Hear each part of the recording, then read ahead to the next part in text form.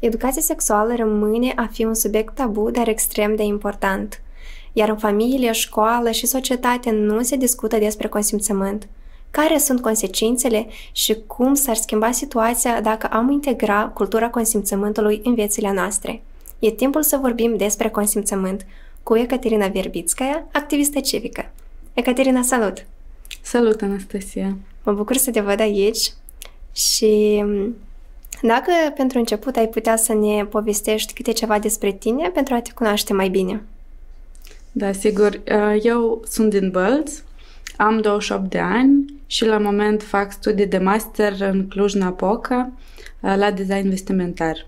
Și um, asta este profesia mea de bază, design vestimentar um, și fac, fac activism și în domeniul ăsta pentru că promovez moda sustenabilă și zero waste design, uh, care e o metodă ca să proiectăm haine, haine și să le croim așa încât să nu genereze deșeuri în proces de producție. Activismul e ceva ce fac pe lângă job și alte activități pentru că cred cu tărie că um, trebuie să avem o atitudine proactivă și când putem să schimbăm ceva în societatea noastră, trebuie cu toții să facem chestia asta. Și um, de aceea am fondat proiectul Cireș, uh, care are scop de a preveni violența de gen și um, de a promova cultura consimțământului uh, printre tineri din Moldova. Deci ești o activistă și în domeniul uh, drepturilor femeilor și te regăsești ca feministă? Da, desigur, mă identific ca feministă intersecțională și asta presupune că diferite sisteme de opresiune și discriminare se intersectează și nu sunt izolate. De exemplu, dacă noi vorbim despre un caz particular sau din, despre un grup de femei, ar trebui să luăm în considerare și etnia lor și um, um, dacă au un venit decent sau trăiesc uh, în sărăcie, uh, trebuie să luăm în, în considerare sănătatea lor fizică și mentală și să luptăm cu toate aceste sisteme de opresiune împreună, nu doar să ne concentrăm uh, pe unul din ele, pentru că nu o să se rezolve așa problemele. Dar uite că feminismul la noi, uh, în zilele noastre, în statul nostru, mai este un subiect care cumva este, nu știu, privit negativ. Uh, hai să vedem, să explicăm în ce constă feminismul și cumva să aducem lumină și pe subiectul dat. Sunt foarte multe mituri despre feminism și cred că fiecare persoană înainte să-și formeze o părere despre subiectul ăsta ar trebui să cerceteze un pic și să vadă de fapt dacă ceea ce a auzit el sau ea despre feminism e adevărat sau nu. De exemplu, mulți oameni cred că feministele urăsc bărbații, ceea ce nu e absolut deloc adevărat sunt feministe care iubesc bărbații, trăiesc cu bărbații și bărbații în sine uh, nu sunt defect sau nu au nimic rău doar pentru că sunt bărbați. Problema nu e în uh, sex sau în gen, problema este în cultura în care am fost crescuți. Uh, și mă refer aici la uh, misoginism internalizat și patriarhat. Și Asta e problema cu care luptă feministele să distrugem patriarhatul și misoginismul și asta ar aduce beneficii și bărbaților și femeilor. Adică asta nu neapărat despre lupta între femei și bărbați, dar exact. este o conlucrare pentru da. a ajunge la o egalitate în mai multe domenii, da? Da, și se întâmplă, deseori un fenomen este ponegrit din cauza unor uh, excepții sau unor cazuri mai um, radicale. Și deja pe baza lor oamenii își fac niște concluzii și fac o părere generală despre un fenomen sau un subiect. Și, nu știu, uh, foarte multe persoane uh, împărtășe valorile, cumva, și scopurile feminismului, dar nu se pot uh, autentifica sau să numească feministe. Mm-hmm. Pentru că, nu știu, parcă este un tabu sau un titlu rușinos să te numești feministă. Și îmi pare destul de straniu. Chiar um, sunt foarte mulți artiști care promovează unele subiecte, dar totodată ferm spun că nu, că eu nu sunt feministă, nu vreau să mă regăsesc cu titlul dat. Și mi se pare bizar asta. Da, și mie. Și e și foarte trist pentru că doar um, ajută la tabuizarea asta și um, cumva redirecționează atenția spre niște cazuri extreme care n-ar trebui să fie um, așa puse în lumina proiectoarelor, ci din contră să accentuăm ceea ce fac feministele buni și utili și care ajută foarte multe persoane. Tu ești fondatoarea platformei Cereș Info, vorbim uh, mai târziu despre el, uh, prin care promovezi subiectul uh, consimțământului, da?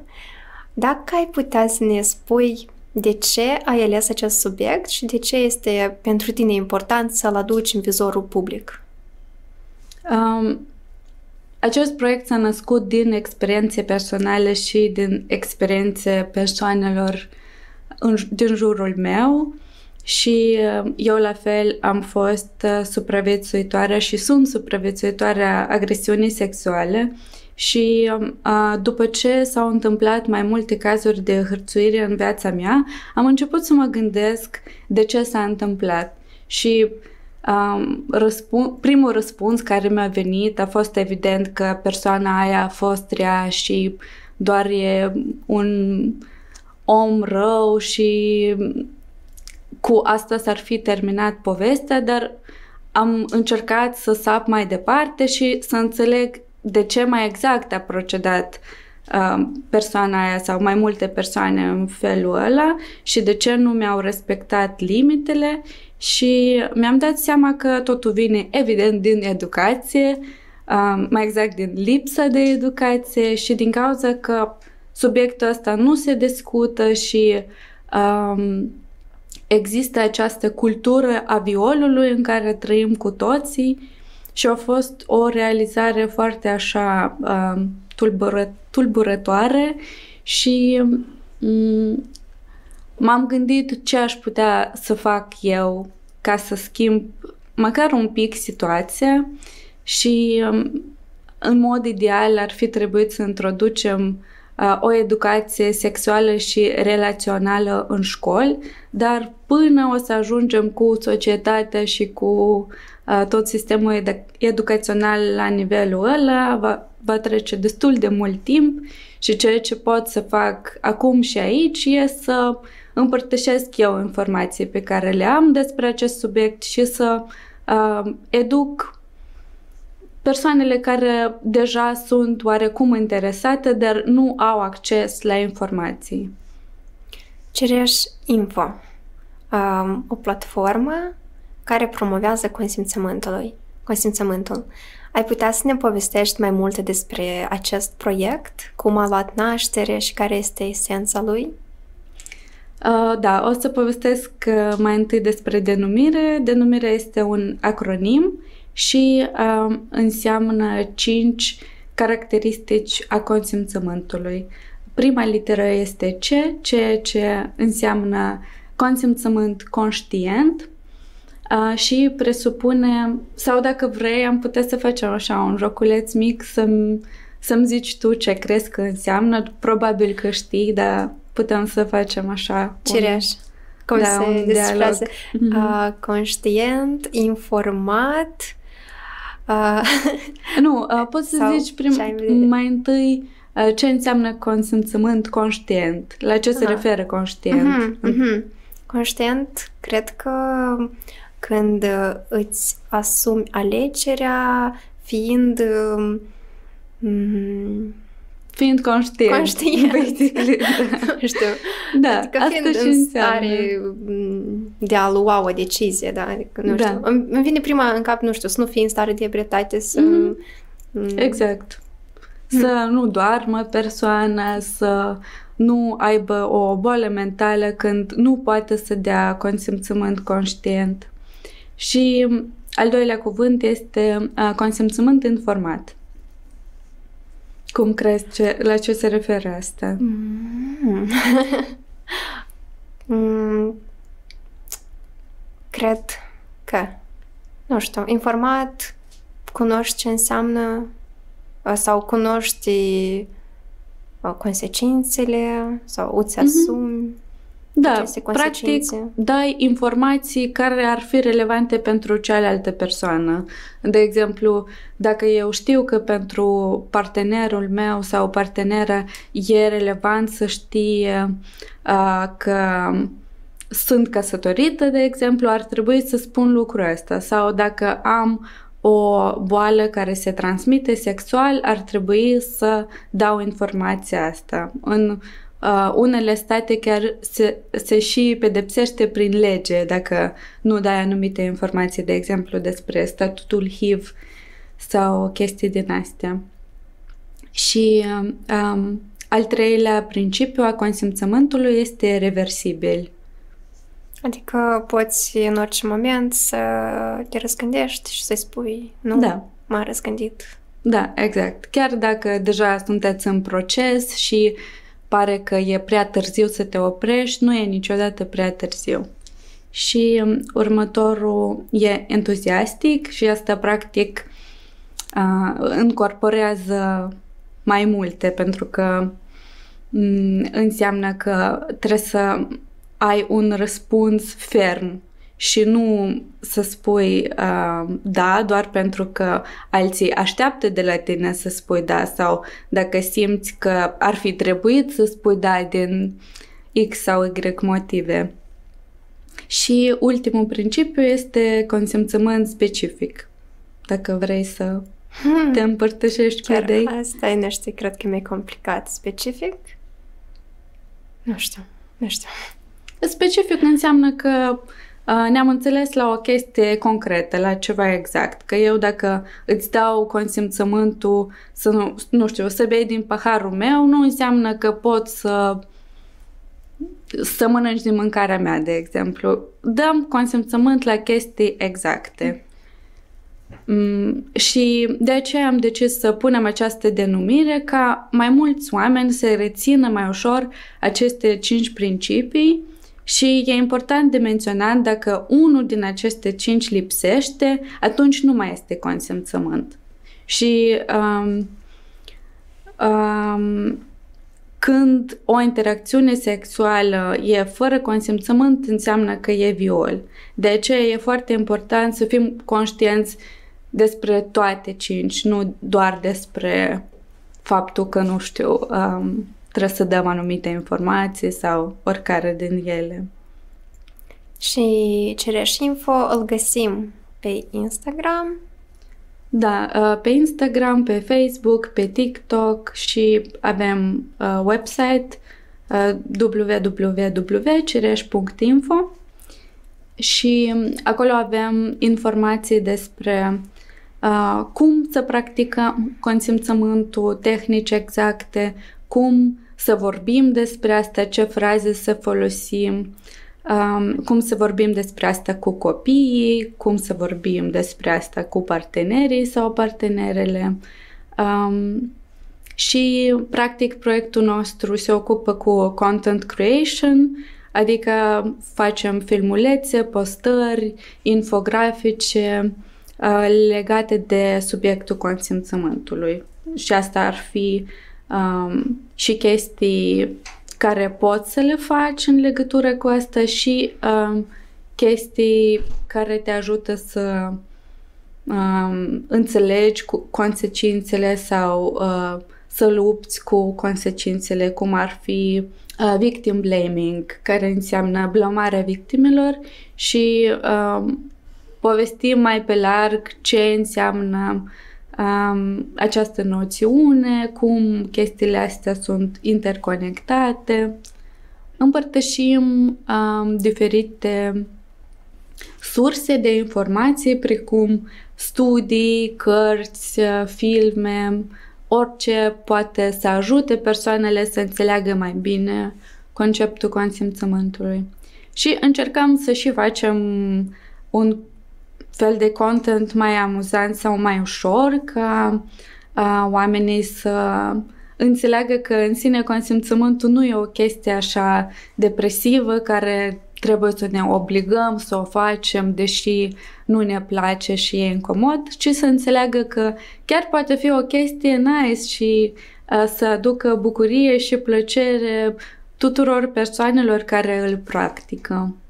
Da, și este una foarte necesară mm-hmm. în mhm. orice context. Da, exact. Și între mm, nu știu, parteneri sau partenele romantice și între colegi și în familie, peste tot. Dar uh, dacă să luăm, nu știu, de la rădăcini, cum crezi? Uh, de unde și când ar fi relevant să începem a aborda subiectul uh, cultura consimțământului?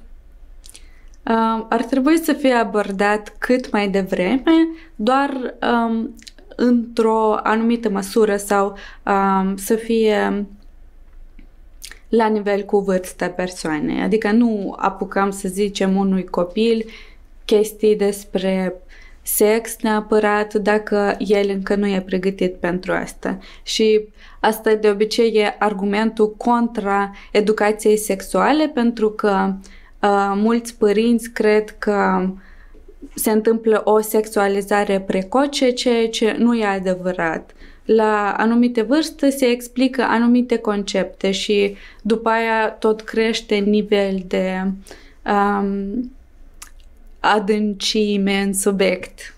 Cam așa. Și cu copiii ar trebui să vorbim despre autonomia corporală, că corpul lor uh, nu are voie să fie atins de nimeni în afară de părinți și părinții ar trebui să-l atingă într-un anume fel. Și um, copilul ar trebui să fie de mic învățat să spună nu anumitor chestii și să aibă încredere în părinți um, și dacă cineva face ceva ce nu e ok, să poată să vină și să zică părinților și să fie sigur că e crezut, că nu e certat și că părinții o să-l ajute să um, iasă dintr-o situație sau alta. Știi cum la noi, de fapt, în cultură e răspândită chestia asta, ce copilaj drăguț, de să-l pup o leac, să-l îmbrățișez, știi? Um, eu am o soră mai mică și foarte mult mă irita când cineva își permitea să vii, să-l îmbrățișez, să-l sărute, chiar să fii tu, nu știu, nană cu mătră, nu știu. Adică nu e, în primul rând nu este ok, pentru că tu, chiar dacă e copil, uh, are și el limitele lui uh, psihologice, pe care nu trebuie să le treci.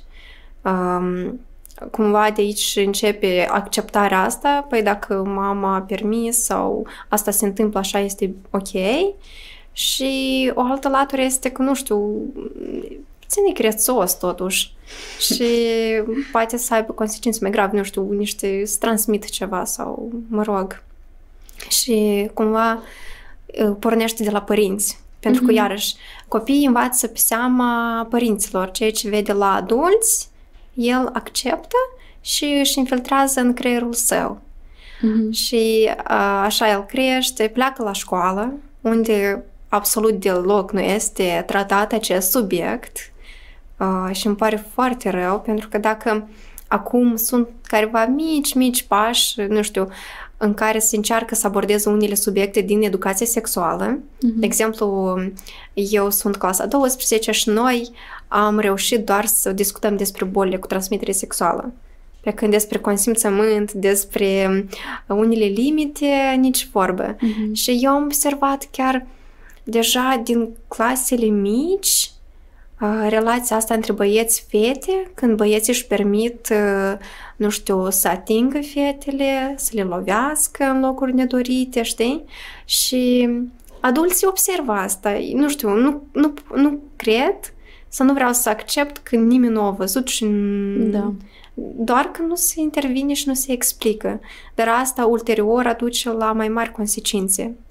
Și o altă, nu știu, um, cauză este că la școală nu ne învață cum să ne exprimăm emoțiile, sentimentele, simțirile noastre și este o mare greșeală pentru că asta și este diferența cumva dintre educația vestică din vest și educația noastră. Pentru că eu văd cultura lor puțin mai deschisă, ei își exprimă mai liber uh, ceea ce simt. Pe când noi, poate, mi rușine spun, poate așa, ei, lasă, nu, poate nu s-a repeta, dar... De, de ce să par repete. isterică?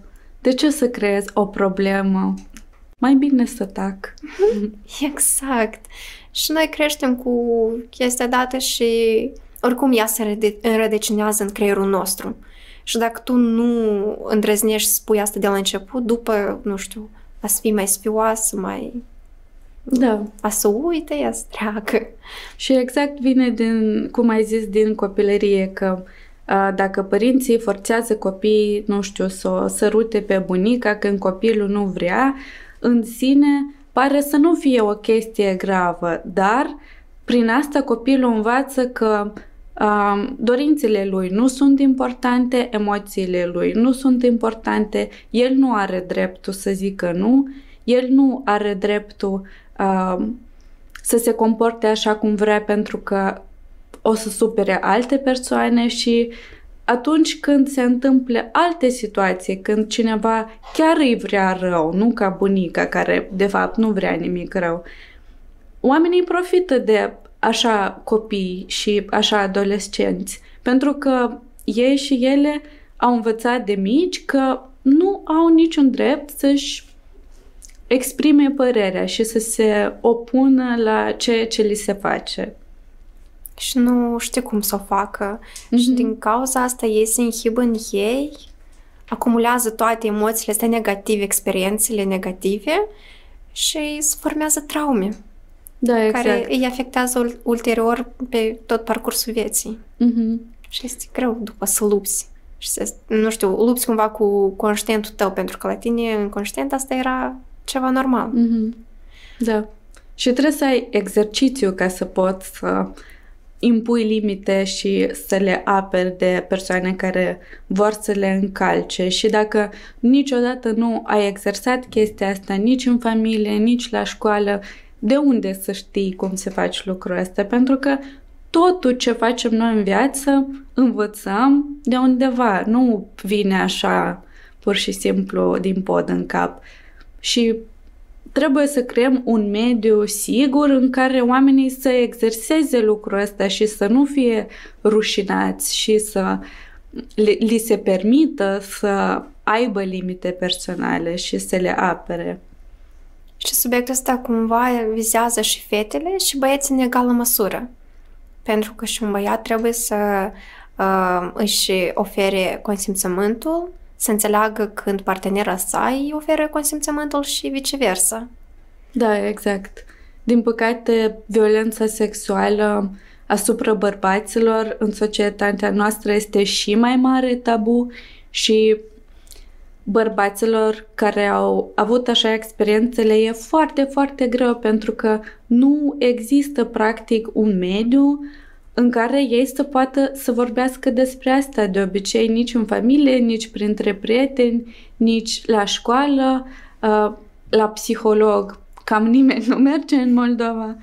Exagerez acum, sunt mulți psihologi și oamenii merg din ce în ce mai mult, dar încă e nu e o chestie normalizată și atunci oamenii ăștia rămân fără ajutor și rămân cu trauma asta singuri.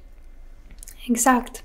Și dacă am vorbit cumva de, despre manifestările consimțământului, cum am putea să exprimăm un consimțământ? Consimțământul poate fi exprimat cât verbal, atât și non-verbal. Noi, desigur, încurajăm ca oamenii să vorbească despre consimțământ, dar asta nu înseamnă că mereu trebuie să fie o chestie așa foarte formală, îmi dai consimțământ în situația asta, da, nu îți dau sau nu îți dau consimțământul. Nu, nu e o chestie așa boring și um, oficială. Și, de fapt, nu e ceva extra ce trebuie să facem în comunicare, e o chestie normală care noi cu toții o facem, doar că trebuie să o aplicăm și în alte contexte, precum interacțiuni, nu știu, tactile, care de obicei uh, se trece cu vederea peste aspectul consimțământului în uh, așa situații. Și um, noi am postat recent un joc inventat de uh, autori americani și Betty Martin este o persoană care promovează consimțământul în America și um, pe site-ul ei se găsește acest joc care presupune că uh, persoanele exersează consimțământul, consimțământul timp, timp de 3 minute și se numește toată chestia asta cercul consimțământului și are patru cadrane cu patru roluri diferite. Și uh, e foarte util jocul ăsta pentru că mereu, în orice interacțiune cu alți oameni, noi suntem în unul dintre aceste patru roluri. Și dacă suntem conștienți de rolul în care ne aflăm, ne e mult mai ușor să înțelegem um, dinamica consimțământului, pentru că în unele situații e destul de greu de identificat dacă eu vreau chestia asta sau nu vreau chestia asta și poate să fie loc pentru manipulare. Și atunci când știi exact ce rol ai și ce rol are cealaltă persoană, e mult mai ușor să comunici despre limite, despre dorințe, despre ce urmează să se întâmple. Și rolurile care sunt pe cerc sunt a da și se referă la anumite acțiuni, nu știu, eu să-ți dau un pahar de apă, uh, apoi a primi când tu primești acest pahar, uh, apoi a lua dacă eu iau de la tine paharul și uh, a accepta dacă eu îți ofer. Și um, acest joc poate să fie jucat uh, în diferite circunstanțe, cu diferite persoane și chiar și noi acum am putea să imităm jocul ca să se înțeleagă cum funcționează um, și se recomandă de jucat uh, minim de patru ori ca fiecare persoană să încerce fiecare din roluri. Um, și prin astfel de activități noi exersăm consimțământul și apoi în situații reale putem să um, ne comportăm mult mai liber așa și relaxat pentru că deja înțelegem cum funcționează lucrurile în spate. Da, și cumva ne deprindem cu chestia dată. Da, dacă da, exact. Uh, anterior n-ai avut ex- experiența asta, nu știi cum, cum să procedezi. Și mm-hmm. cred că e destul de util uh, asemenea, utile asemenea jocuri. Da. Și ar putea fi aplicate pentru orice vârstă. Da, exact. Și în, uh, pentru orice tip de interacțiune, nu știu, pot să joc cu mama mea referitor la să-mi facă un borș sau ceva de genul. Nu neapărat trebuie să fie legat oarecum de sexualitate. Și alt aspect bun a jocului este că el creează un spațiu în care tu trebuie să te gândești dacă chiar vrei chestia asta sau nu. Adică dacă noi ne jucăm și tu îmi oferi un pahar de apă când ești în rolul de a da, eu trebuie să mă gândesc dacă chiar vreau să beau apa aia sau nu. Și asta e un aspect important în toată cultura consimțământului, că oamenii trebuie să știe ce vor și să comunice despre asta într-o formă sau alta. Și la fel trebuie să știe ce nu vor Și dacă tu nu îți iei timpul și libertatea să vrei ce vrei și să te gândești la chestia asta sau să-ți impui limite, nu o să poată funcționa consimțământul. Cum ar fi cert să știi da sau nu? Adică partea de mijloc înseamnă că ți iei o pauză, nu știu, te gândești mai bine și analizezi. Da, să exact. nu iai decizii care ulterior, nu știu, s-ar transforma într-un regret sau, nu știu, mai bine nu o făceam.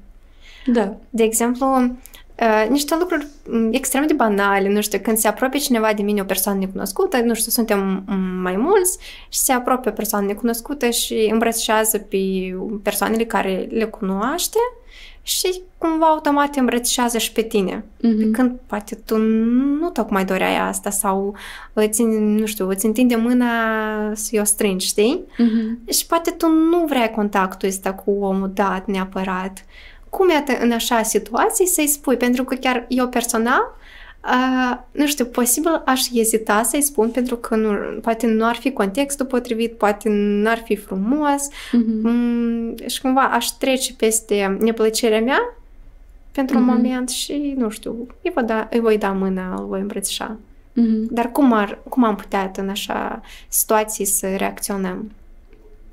De e și foarte important să practicăm consimțământul și să întrebăm persoana dacă vrea chestia asta sau nu, pentru că nu creează această confuzie când trebuie tu să te gândești oarecum să explic că nu vreau chestia asta.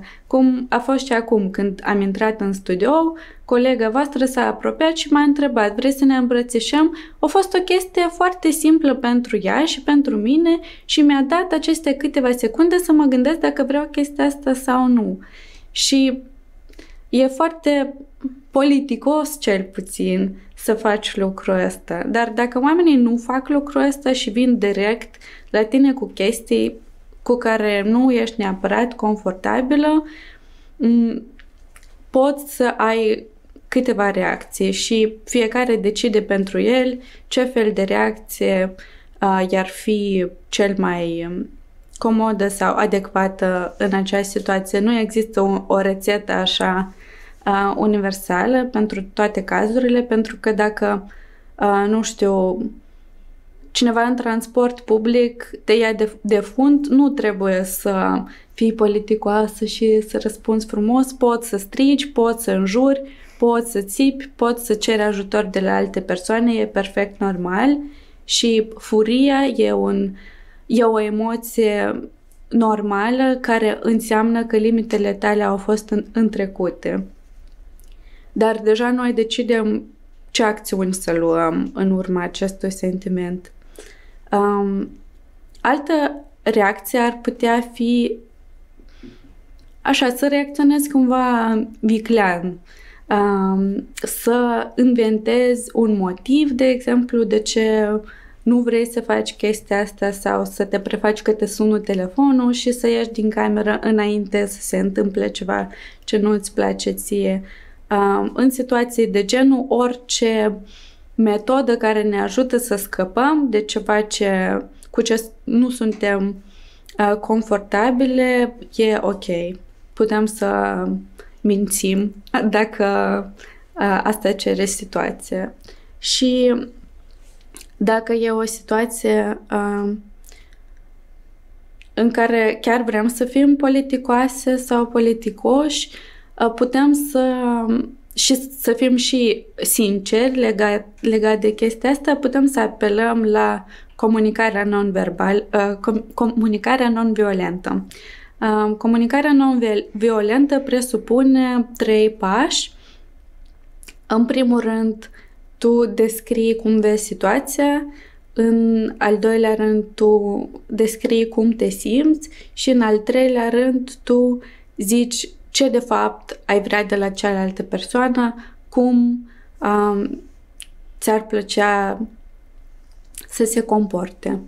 De exemplu, dacă sunt în transport public și lângă mine stă o persoană care stă foarte lipită de mine și nu mă simt comod, aș putea să uh, numesc ce văd, cum văd eu situația, de exemplu să zic că dumneavoastră vă lipiți de mine prea tare, să numesc ce simt să zic că mă simt incomod și îmi displace lucrul ăsta și să cer ce ar putea face altă persoană. Puteți să luați alt loc liber sau să vă dați un pic la o parte ca să am mai mult spațiu. Cam așa ar funcționa. Uite, um, înainte am avut um, o discuție cu mai mulți tineri, uh, printre care erau și băieți și vorbeam despre mai multe situații neplăcute, cumva, poate niște um, conflicte care nu sunt atât de, op- de observat. Și uite că povesteam niște situații care pentru băieți le păreau ceva obișnuit, banal, adică, nu știu, ei nu s-au gândit mai profund că m- ar putea cândva să provoace o incomoditate cuiva sau mm. o neplăcere. Și iată să nu vorbim doar, știi, teoretic, poate, să discutăm niște cazuri sau niște exemple concrete unde este necesar consimțământul. Consimțământul este necesar în orice fel de acțiune cu alți oameni și dacă vrei putem să discutăm cazurile pe care voi le-ați discutat. De exemplu, chiar aceleași complimente în ghilimele, da? Mm. Uh, flirtul ăsta um, agresiv, să-i spunem, nu știu, care cred ei că este un flirt, dar de fapt este o hărțuire. Poate, nu știu, chiar oferim uh, definirea cumva hărțuirii, pentru că multe persoane nu cunosc ce ar mm-hmm. presupune o hărțuire.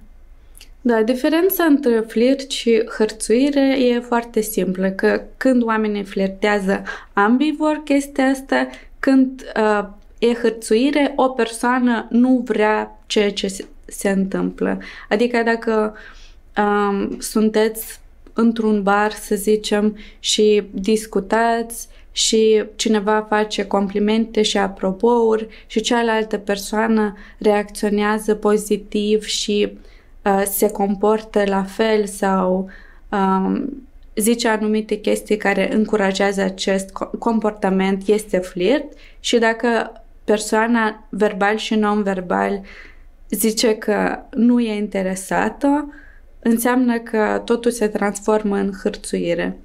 Și um, semnele hârțuirii non-verbale pot fi că persoana nu face contact vizual, um, are o poziție corporală închisă, se întoarce cu corpul în cealaltă direcție, um, nu răspunde lung, ci foarte scurt și nu pare în general interesată, atunci probabil înseamnă că nu ar trebui să continuăm ceea ce facem și uh, cel mai sigur ar fi să întrebăm, vrei să continuăm discuția și dacă e un da, atunci e clar, dacă e ceva ezitare, înseamnă că nu. Sau dacă e nu, evident, nu înseamnă nu. Știi că chestia asta că îi nu, dar poate îi da, știi, poate ea e modestă și să mai încerc. În situația dată, cum, nu știu, în cazul în care tu ești, de exemplu, o fată și omul este foarte insistent, cum ai proceda?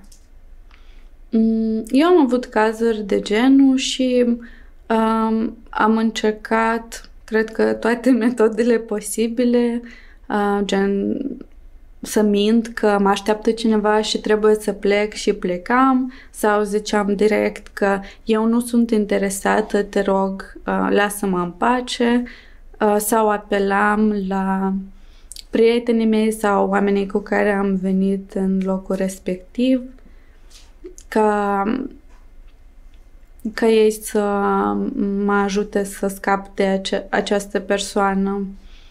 Mm. Și da, am fost și eu necrezută în astfel de situații. De exemplu, într-un club ziceam că nu vreau să-ți dau numărul meu de telefon, nu sunt interesată de această discuție și omul insista și zicea că păi nu, că fetele când zic nu înseamnă da, că doar vrei să fiu mai insistent și să te câștig. Ca și cum eu sunt un obiect care trebuie câștigat.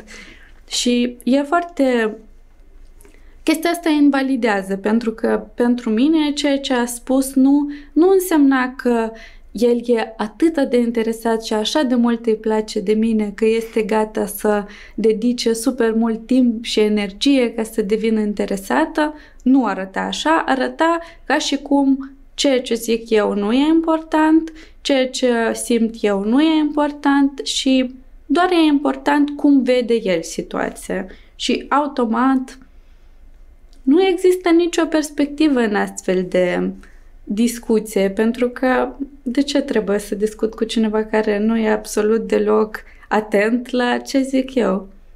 Și mai ales când asta este îndrumat din niște senzații de neplăcere, mm-hmm. incomoditate și da. îți șterg limitele, da, de intimitate. Da, exact. Și dacă să revenim la exemplele de hărțuire, pentru că e clar, când e vorba de hărțuire, nu merge nici vorba de consimțământ. Hărțuire, de exemplu, nu știu, la locul de muncă, cum ar putea să fie, sub ce aspect?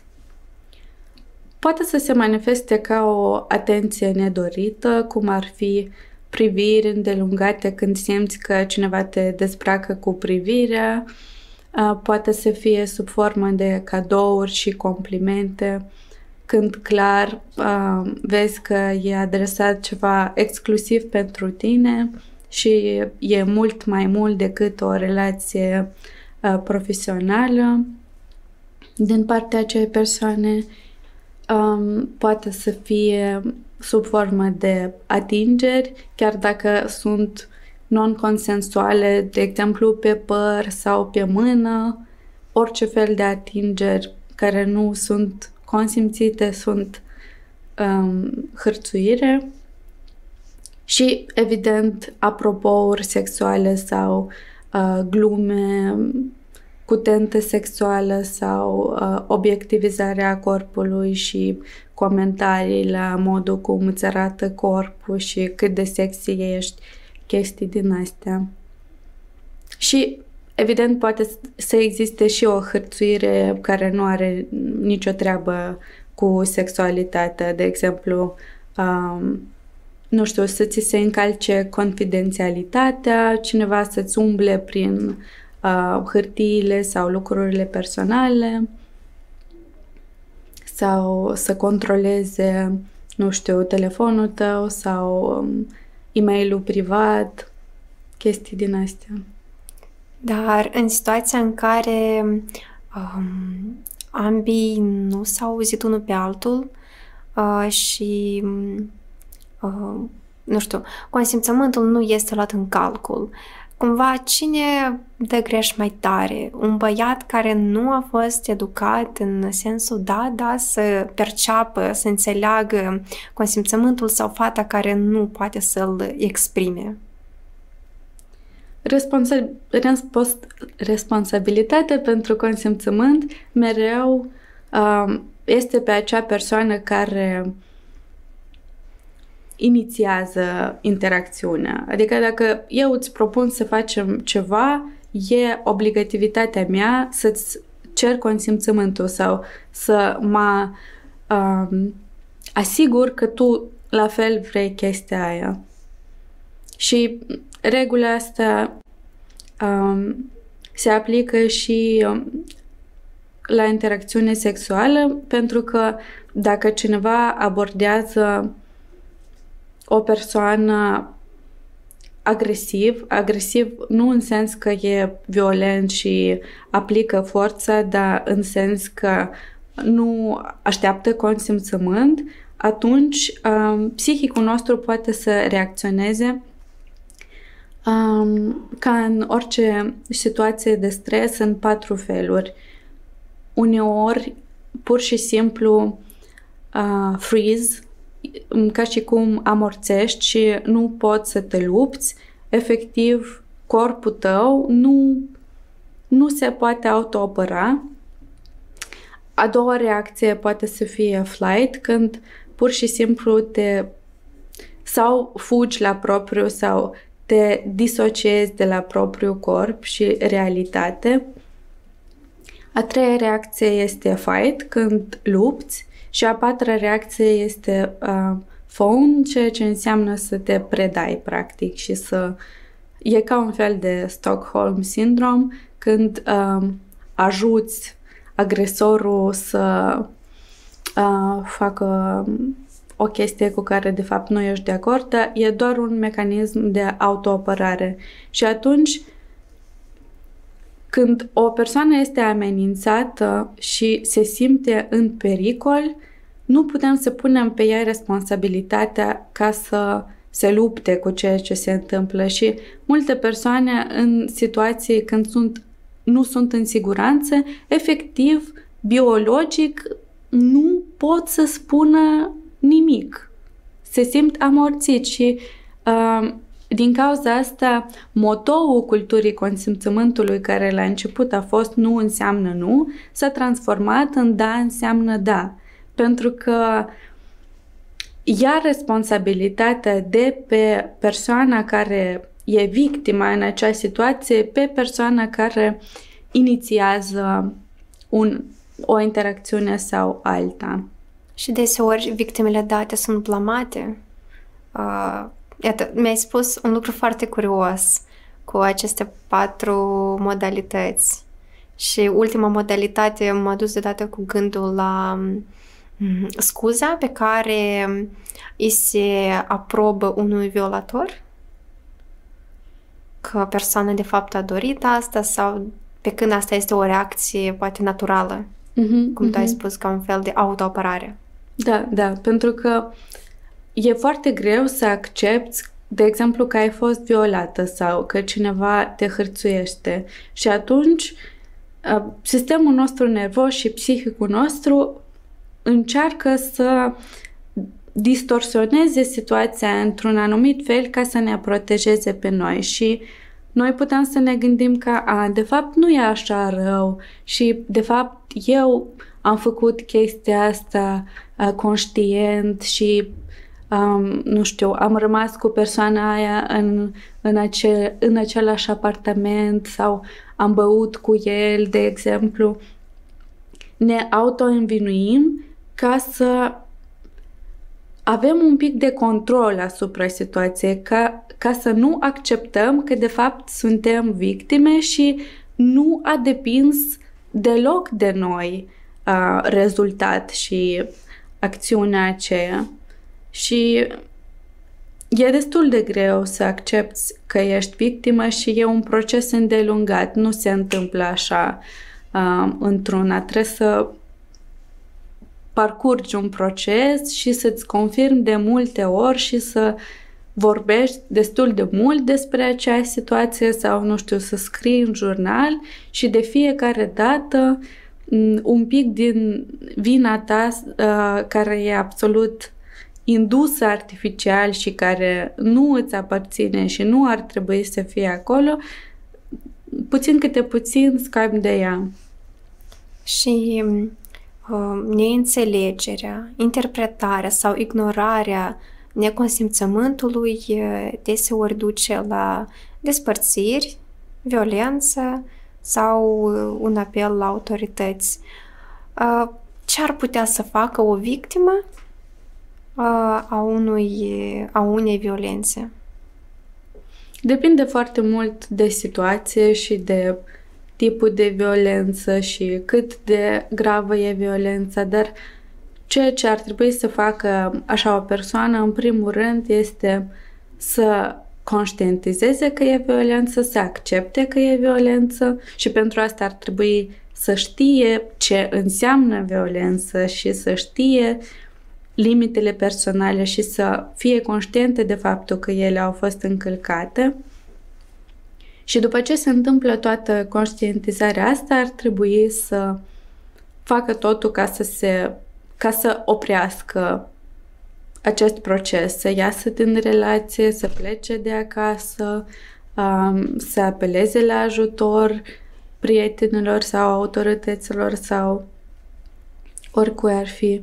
Dar, um, evident, pentru fiecare e diferit și situațiile sunt diferite și ciclul ăsta de violență persistă foarte mult timp în societatea noastră exact din motivul că nu toată lumea are posibilitatea să plece din situații de abuz.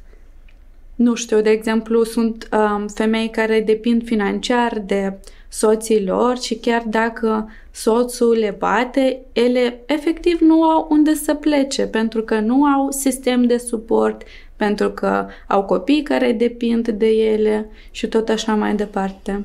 Și soluții pentru așa situații ar trebui să fie gândite din toate aceste aspecte, ca să nu se ajungă la situații în care persoane de fapt pierd dacă pleacă din situația de abuz. Adică, nu știu, rămân să trăiască pe stradă sau chestii din astea. E destul de complicat. Dar trebuie să încurajăm oamenii să ceară ajutor și să nu să nu tacă, să nu lase situațiile astea să mocnească acolo până se ajunge la ceva irreversibil. Cred că important aici este și um, găsirea unui suport, adică să te adresezi unei persoane de încredere mm-hmm. care în permanență, nu știu, uh, te va ajuta, te va susține în tot procesul dat, pentru că cum ai spus și tu, este un proces foarte dificil mm-hmm. să mhm. autoconștientizezi tot ce ți se întâmplă, dar când ai o persoană care mm, va contribui la asta, procesul cred că va fi cu mult mai scurt și mai simplu de trecut. Dar cum am putea noi să mm, educăm conștientizarea și înțelegerea culturii consimțământului?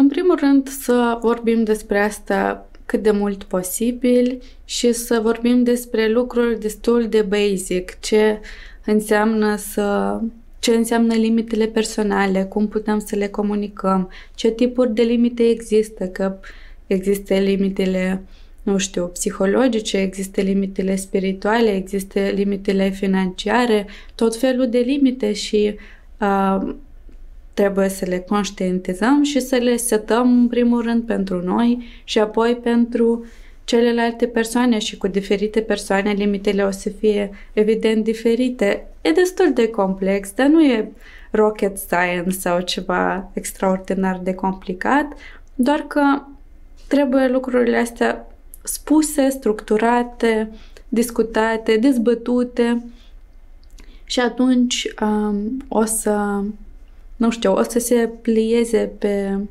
realitatea noastră. Pentru că toate chestiile pe care le-am învățat, nu știu, etică, etichet sau cum să uh, fim politicoși unii cu alții, au venit din copilărie și cineva ne-a spus chestia asta, că uite, nu e frumos să, nu știu, să stai pe, pe scaun când intră o persoană bătrână într-o leibus, trebuie să-i dai locul. Și fix așa putem să facem și cu consimțământul. Pur și simplu să vorbim unii cu alții despre ce e acceptabil și ce nu e acceptabil. Și să vorbim foarte mult despre inteligența emoțională, ca să știm să identificăm emoțiile noastre, pentru că nu ai cum să-ți aperi o limită dacă tu nu știi ce simți de fapt în legătură cu o chestie sau alta. Dacă, nu știu, uh, mai cuprins fără consimțământ și eu nu am absolut deloc educație emoțională, poate nu pot să identific că simt, nu știu, uh, frustrare, rușine, furie, e așa un amalgam de ceva intens, dar nu îți dai seama ce simți exact și atunci e greu de explicat celelalte persoane ce se întâmplă și e greu să-ți explici și ție. Și dacă nu știi exact ce se întâmplă, e greu să iei o decizie cum să acționezi. Și din cauza asta noi încercăm să facem și educație în școli. Acum, anul ăsta, la început, am mers în 12 școli, dacă nu greșesc, în diferite sate și orașe din Moldova. Inclusiv am fost și la Bălți, la uh, liceu Ion Creangă și am vorbit despre chestiile astea cu elevii și elevele și încercăm cât de mult putem să să împărtășim ceea ce știm și să ajutăm oamenii să înțeleagă că chestiile astea chiar sunt importante și nu sunt așa de greu de implementat. Cheia succesului este comunicarea, să putem să comunicăm ceea ce simțim, ce ne deranjează și abilitatea să auzim pe altul care spune asta. Da, exact. Și, și să ne pese de ce simte el, să ne ajustăm. Da. Să luăm o atitudine și să auzim omul, persoana și cumva să acționăm în beneficiul ei, da? Adică cum s-ar simți ea mai bine. În beneficiu ambelor, ambelor persoane da. până la urmă, pentru că și tu te simți mai bine când cealaltă persoană se simte bine. Nu, nu știu, mi-e greu să mă gândesc la persoane care chiar primesc plăcere de la faptul că altcineva suferă sau nu se simte comod. Există așa oameni, dar sunt destul de rari și de obicei chestiile astea vin din, dintr-o anumită ignoranță sau uh, lipsă de informații sau lipsă de empatie și toate chestiile astea se pot repara, se pot învăța um, și poți să ajungi la o comunicare mult mai eficientă și plăcută pentru toate părțile implicate. Sunt de acord, complet de acord. Și acum am pregătit câteva întrebări, uh, să le spunem blitz. Ok. Uh, Ecaterina, cine este omulețul din interiorul tău și ce scop are el? Oh, ce întrebare! Uh, cred că e un fel de revoluționar, uh, o persoană care vrea să schimbe lumea spre bine, dar uh, fără să fie prea abstractă sau ambițioasă, ci să schimbe lucrurile care sunt sub controlul ei, aici și acum.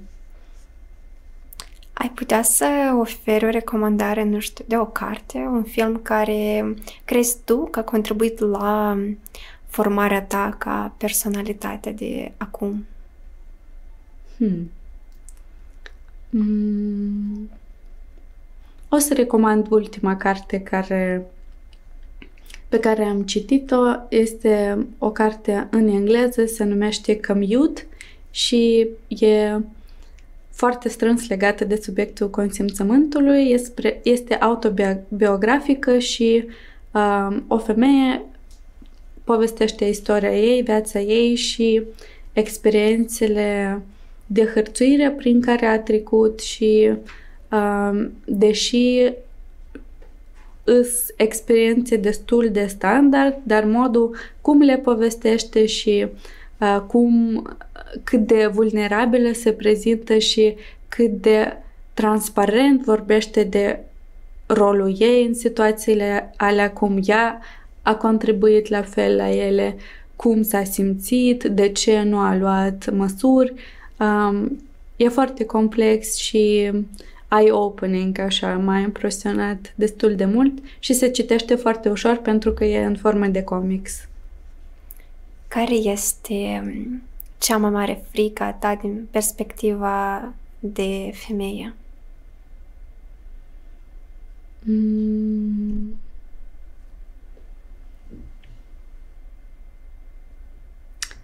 Cred că să fiu violată și um, altă frică ar fi în general ca drepturile femeilor um, să degradeze sau să ni se ia drepturi cum ar fi dreptul la avort sau dreptul la educație, ceea ce se întâmplă deja în multe țări, inclusiv și cele europene.